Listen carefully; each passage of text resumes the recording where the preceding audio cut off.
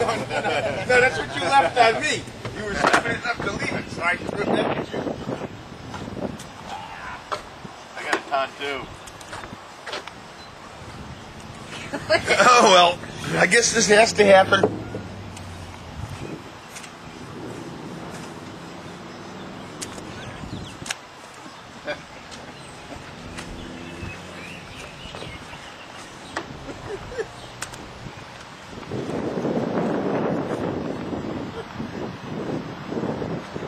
You suck at mud bogging.